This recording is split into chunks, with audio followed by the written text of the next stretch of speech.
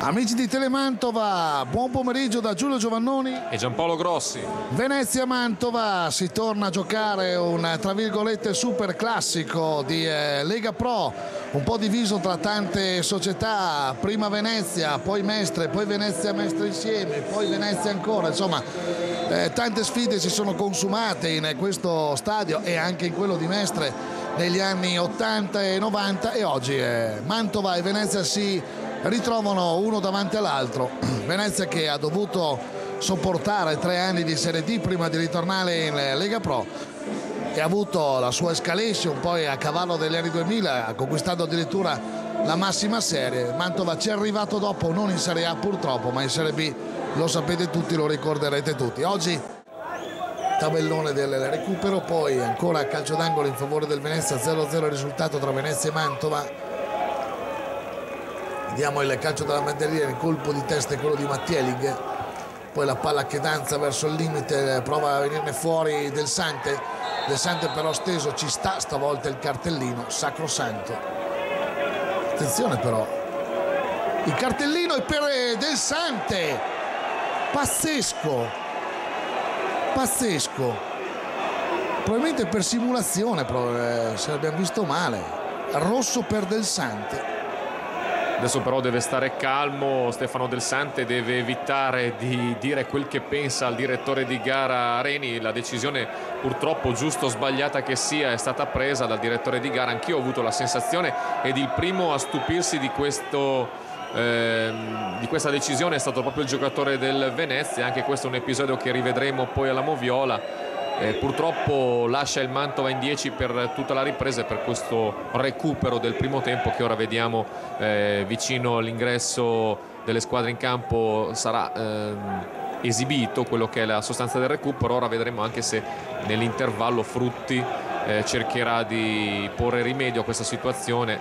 È stata eh, è, espulso, è, stata espulsa la punta centrale dei biancorossi quindi non necessariamente richiede un cambio però è una decisione controversa che appunto ripeto rimandiamo alla Moviola ma che mi pare il direttore di gara Reni avesse come si suol dire nella manica nel senso che erano già un paio di occasioni che con Del Sante si era instaurato un certo rapporto un po' di ruggine possiamo dire così Giulio sì, hai detto perfettamente, anche quando prima c'è stata la protesta su un fuorigioco, eh, c'era già il guardaline che aveva intenzione di segnalare un eventuale cartellino giallo.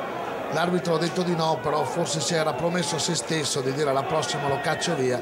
È bastato poi un pretesto abbastanza ridicolo, insomma, una simulazione è dubbio, una simulazione praticamente dalla propria area eh, può valere un cartellino rosso, insomma, è stata una decisione abbastanza pesante per il Mantova che ripeto dal 46esimo del primo tempo dovrà giocare in 10 uomini. L'arbitro segnale un solo minuto di recupero. Rinvio di Marco Festa. Dopo che l'arbitro ha fischiato una punizione la palla arriva a Pietri Biasi che vince un contrasto mantiene il possesso del pallone la apre verso Spinale che poi ancora per Bertin. Prova una sorta di tiro grosso del Mantova il gol del Mantova attenzione però che attenzione. Sì però l'azione continua non l'abbiamo capito ma quello che non, eh, non riusciamo a capire è che l'azione del, del, Venezia sta continuando. L'arbitro ancora lì che parla con eh, Spinale. Era fuori gioco andremo a vedere ma non, non ho capito particolarmente quello che è successo. Sì gol annullato. Peccato perché era una bella azione in contropiede peccato anche per il giallo Mattielig attenzione però eh, rimettiamo a posto tutto. Giampaolo te che hai visto bene Beniss- bellissima l'azione in velocità dei biancorossi, la rasoiata perfetta di Mattielig sotto la traversa. C'è stato prima il dubbio che il pallone fosse entrato, poi quando il pallone è entrato Mattielig eh, l'abbiamo visto andare ad esultare, in realtà non stava andando ad esultare ma stava andando a prendersela con il guardaline che nel frattempo aveva eh, segnalato il fuorigioco. Fuorigioco che anche questo verificheremo eh, domani sera a Piazza Pallone, però non possiamo farci nulla, certo sarebbe stato un bel colpo quello di un Mantova in 10 in vantaggio qui al Penzo di Venezia Venezia in una partita piuttosto soporifera ma che il Mantova vive con grande attenzione cercando di limitare i danni. Quello provate a pensare a quello che sarebbe stato un gol per i biancorossi 10 contro 11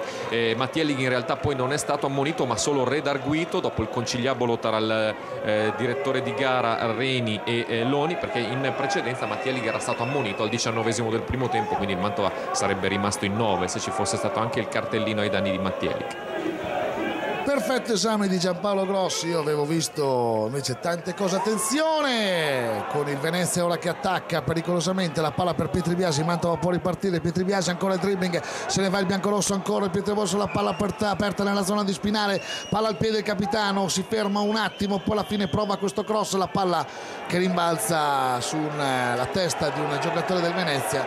Ovviamente ci ha pensato due volte il Mantova a seguire questa azione visto che poi ha avuto così il terrore di un'eventuale ripartenza del Venezia. Altro fallo commesso dal Mantova. Ora il Venezia che guadagna una rimessa in gioco con le mani Delia va a posizionarsi tutta la difesa del Mantova che deve stringere i denti in questa fase finale del match. Venezia prova in avanti con Cabeccia attenzione pallone dentro va a finire esce festa.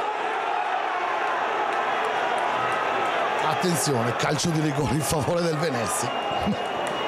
Non ho parole. Non ho parole. Non ho parole però per come ha corso l'arbitro vabbè.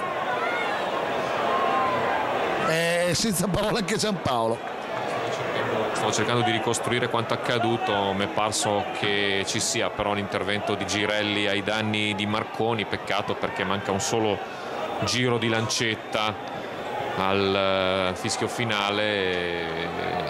Non lo so comunque un calcio di rigore non corrisponde necessariamente ad un gol noi possiamo avere fiducia in Marco Festa che può magari riscattarsi visto che è stato considerato un bersaglio da parte dei tifosi per lungo tempo Franchini contro Festa. Dobbiamo mettere in conto una possibile clamorosa sconfitta. Vediamo se c'è il miracolo. Ma pazzesco pazzesco. Mi c'è l'ascolto di Telemantova tiro gol. Venezia vince la partita in maniera assurda. E vabbè vuol dire che doveva finire così. Non so cosa è successo in area. Il Mantova non meritava questa sconfitta per eh, nessun motivo l'arbitro poi in maniera anche un po' ridicola dice recuperiamo un minuto sai che cosa ce ne facciamo di questo minuto? Boh. insomma un'espulsione fantasma un gol fantasma del Mantova un rigore così in una partita da 0 a 0 grande come una casa. Vabbè, insomma, se il Mantova non conta più niente, eh, Venezia conta qualcosa perché c'è qualche russo che ci ha investito fate voi. Non lo so. A me viene da innervosirmi perché non si può contestare certe volte il Mantova per le sue prestazioni quando poi oggi invece ha giocato bene e anche quando gioca correttamente in difesa cercando di non rischiare nulla è andato a perdere ugualmente. Queste sono delle palate eh, sui denti si può dire per una squadra che in tutti i modi possibili aveva cercato di eh, mantenere il risultato.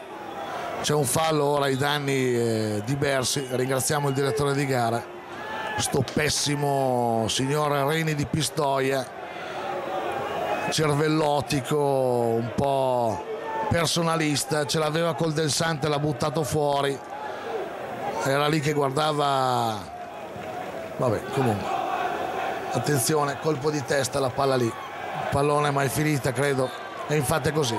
Venezia vince una partita scandalosa. Buon per loro che andranno avanti non so fino a che punto giocando in questo modo. Il Mantova invece deve raccogliere una sconfitta che non ci stava assolutamente. Veramente complimenti al direttore di gara che ha rovinato una partita da 0-0 in una maniera decisamente scandalosa. È tutto. Da Giampaolo Grossi. E Giulio Giovannoni